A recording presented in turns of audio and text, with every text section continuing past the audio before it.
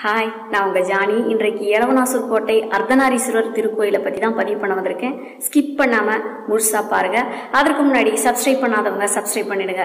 ஏன்னா இளவனாசூர் கோட்டை அப்படிங்கிற ஒரு ஊர் இருக்கா அப்படிங்கிற யோசனை எல்லாருக்கும் வரலாம். தியாகதுருகத்துக்கு அருகில் இளவனாசூர் கோட்டை அப்படிங்கிற ஊர் அமைந்துள்ளது.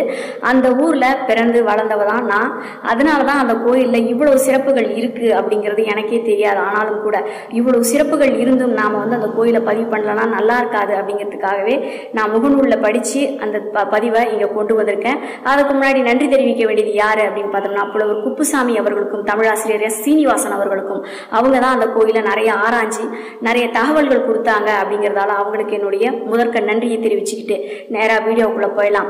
இறைவாசநல்லூர். இதான் அந்த கோயிலோட அந்த ஊருடைய முதல் பெயர் அப்படிங்கிறாங்க. அதற்கு அதற்கு முன்னாடி இன்னொரு பெயர் என்னென்ன அப்படின்னு பார்த்தோம்னா சோழ கேரள சதுர்வேதி மங்கலம். அது மட்டும் இல்லாமல் அரசவனம் நீரேற்றகுடி இறையானரையூர் இறைசை இறைவாசநல்லூர் இளவனாசூர் அப்படின்னு சொல்லி இத்தனை பெயர்கள் அந்த ஊருக்கு இருக்கு.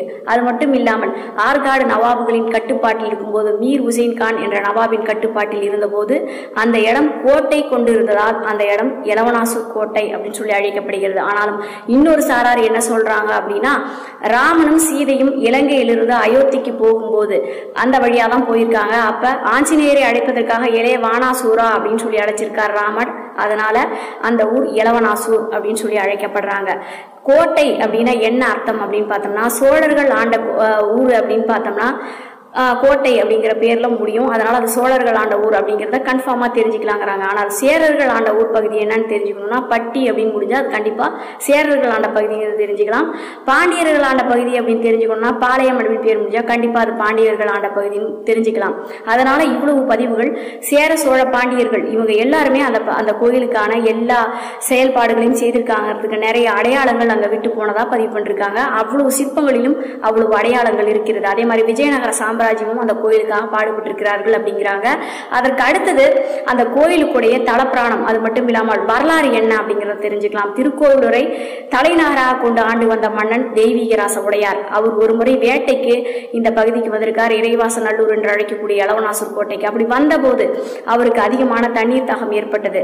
அந்த காலத்தில் அது காட்டு பகுதியாக தான் இருந்திருக்கு. தண்ணீர் தாகம் ஏற்பட்ட போது அந்தனரூரில் வந்த சிவபெருமான் பூமியை கீறி அவருக்கு தண்டு தீர்த்த குளம் ஒரு குளத்தை உருவாக்கி அவருக்கு தண்ணீரை கொடுத்துருக்கார். தண்ணீர் தாகம் தீர்ந்து அவர் என்ன வாக்கு கொடுத்துருக்கார் அப்படின்னா சிவபெருமான் வாக்கு கொடுக்குறார். உனக்கு இதே பகுதியில் ஒரு கோயில் கட்டுறேன்னு. காடுகளை அழிக்க சமய அழிக்கிற சமயத்துல அந்த பகுதியில ஒரு லிங்கத்து மேல ஆஹ், வாள் பட்டு கத் ரத்தம் கொட்ட ஆரம்பிச்சிருச்சு. ரத்தம் பீரிட்டு எழுந்ததை பார்த்த அந்த மன்னர் துடித்து போய் சிவனையே நம்ம வெட்டிட்டமே என்ற ஆவேசத்துல தன்னுடைய கையை வெட்டி கொள்கிறார். அப்படி வெட்டி கொள்ளும் போது இறைவன் அவர் முன்னால் தோன்றி பிரசன்னமாகி இந்த இடத்துலயே எனக்கு கோயிலை கட்டு அப்படிங்கிறார். அதனால தான் அந்த கோயில் உருவானது. கிபி தொள்ளாயிரத்தி தொண்ணூத்தி ரெண்டுல முதலாம் ராஜராஜ சோழன் அந்த கோயிலை உருவாக்கினதா பதிவு பண்றாங்க. கிபி ஆயிரத்தி நூத்தி பத்தாம் ஆண்டுல முதலாம் குலோத்துங்க சோழன் அந்த கோயிலுடைய ராஜகோபுரத்தை உருவாக்குறதா பதிவு பண்றாங்க. அது மட்டும் இல்லாமல் முதலாம் ராஜேந்திர சோழன் காலத்தில் திருவரங்கன் என்ற ஒரு அவருடைய கட்டுப்பாட்டில் அவர் இவர் வேலை செஞ்சிருக்கார் திருவரங்கன்றவர். அப்போ அங்கே ஒரு தேவர் அடியாள் அதாவது தேவர் அடியாள் என்பவர் யார் அப்படின்னு பார்த்தோம்னா அங்கே ஆடல் பாடல் செய்து இறைவனை மகிழ்விப்பவங்க அப்படிங்கிறாங்க. அங்கே வந்து அரும்புலி வனம் அப்படின்னு சொல்கிற ஒரு ஊரை தானமாக எழுதி கொடுத்ததா அந்த இடத்துல கல்வெட்டுகள் இருக்குது அப்படிங்கிறாங்க. அது மட்டும் இல்லாமல் அந்த ஸ்தலம் எப்படி உருவாகி இருக்கிறது அப்படின்னு பார்த்தோம்னா எல்லா இடத்துலையும் சிவன் கோயில் கிழக்க பார்த்த மாதிரி தான் வாசப்படி இருக்கும். ஆனால் ராஜகோபுரம் மேற்கு நோக்கி இருக்கு. அதே மாதிரி நந்தியம் பெருமானும் நம்மை வரவேற்கும் பெருமாக மேற்கு நோக்கி தான் நமக்கு காட்சியளிக்கிறார் அப்படிங்கிறாங்க. அதற்கு அடுத்தது நவகிரகங்கள் அதற்கு பக்கத்திலே இருந்து நமக்கு அருள் பாடிக்கிறது அது மட்டும் இல்லாமல் இந்தாண்ட பகுதியில் பார்த்தோம்னா அதாவது நந்திக்கு இடது புறம் இடது பக்கம் பார்த்தோம்னா கிட்டத்தட்ட நிறைய சூரிய சூரியன் சந்திரன் ச- சனி அது மட்டும் இல்லாமல் பிள்ளையார் எல்லாருமே அமர்ந்திருக்காங்க. அதற்கு அடுத்தது இன்னொரு சிறப்பு என்ன அப்படின்னு பார்த்தோம்னா கிழக்கு நோக்கி மட்டுமே அம்பாள் காட்சியளிக்கிறார். அதாவது அம்பாள் யாரு அப்படின்னு பார்த்தோம்னா பிரகன்நாயகி அப்படின்னு சொல்லி அந்த அம்பாளை குறிப்பிடுறாங்க. ஆனால் அதற்கு முன்னாடி என்ன அப்படின்னு பார்த்தோம்னா முதலாம் குலோத்துங்க சோழன் காலத்தில் திருப்பள்ளியறை தம்பிராட்டியார் அப்படின்னு சொல்லி தான் அவங்கள அழைச்சிருக்காங்க. அதற்கு பிறகு இப்போ பிரகநாயகி. பிரகநாயகி அப்படின்னா அதுக்கு என்ன அர்த்தம் அப்படின்னா பிரம்மஹத்தி தோஷங்களை தீர்க்கக்கூடியவர் அப்படிங்கிறதால அங்கே போனால் உங்களுக்கு பிரம்மஹத்தி தோஷம் தீருகிறது அப்படின்னு பதிவு பண்ணுறாங்க அதனால அந்த கோயிலுக்கு போனால் உங்களுக்கு எல்லா தோஷங்களும் நீங்குது அப்படிங்கிறாங்க. அதற்கு அடுத்தது பழனிக்கு பிறகு அங்க ஆண்டி கோலத்துல அங்க உட்காந்துட்டு இருக்காரு அப்படின்னு பார்த்தோம்னா நம்முடைய முருகன் இங்கே தான் ஆண்டி கோலத்துல உட்காந்துட்டு இருக்காரு. சாப விமோசனம் கிடைச்சது இந்த கோயில் தான் அப்படிங்கிறாங்க. எலவனாசு கோட்டை தான் அவருக்கு சாப விமோசனம் கிடைத்த கோயில் அப்படின்னு சொல்லி பதிவு பண்றாங்க.